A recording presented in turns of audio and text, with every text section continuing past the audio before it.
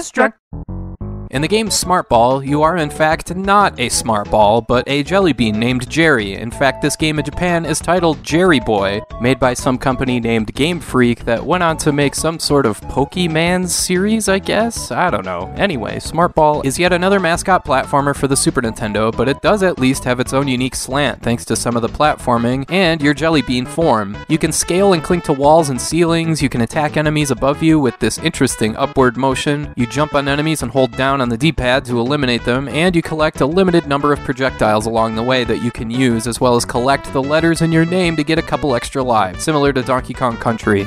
Other than that, the platforming is the same old stuff you're used to from games like this, although it'll feel pretty dang slippery before you get used to it. The controls can be finicky, but I don't think they're that much of a deal breaker here. This game does cut a quick pace, and the fact that you can scale walls really helps with that. There's lots to explore here and plenty of instances that test your ability to take advantage of wall scaling to find items or getting through sections like this here. There's eight worlds split into two stages each, no saves or passwords, but this is a pretty fast playthrough depending on how much you want to explore and find every item. And yeah, Jerry's abilities encourage you to explore a lot, but unfortunately, that leads to a lot of blind jumps into pits and spikes, and that really gets annoying. But my main criticism with Smart Ball is that, I mean, this might as well be an NES game. From a gameplay standpoint, it's totally fine, but visually, it's so bland. The only standout memorable section is where you're on the moon and the ground rotates beneath you, but otherwise, this game is wasted on the Super Nintendo. The music is okay-ish, the sound design is good enough, but the visuals are just bleh.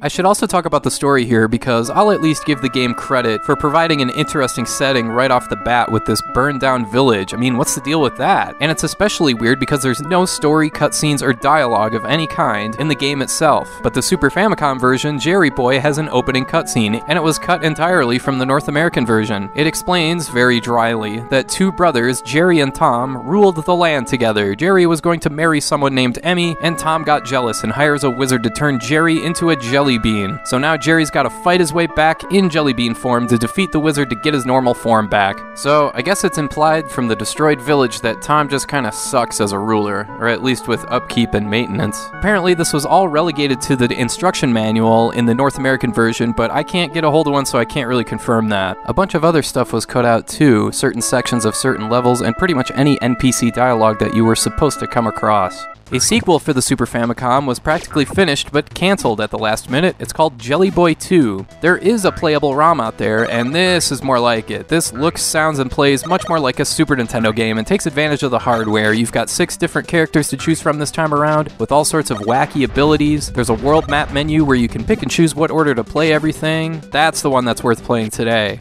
But just regular old vanilla Smart Ball for Super Nintendo? Eh, it depends on how much you like platformers like this. Sure, Jerry's Jelly Bean form enables some interesting platforming, and I admit it's kind of interesting to see what Game Freak was up to before Pokemon came around, but the controls are slippery and tough to get used to, and like I said, this one just feels like an NES game. Not to slag the NES, but I mean, I'm playing a Super Nintendo game here. The cartridge is at least a cheap pickup for under $10, and I'll grant that this game isn't bad, it's just pretty underwhelming.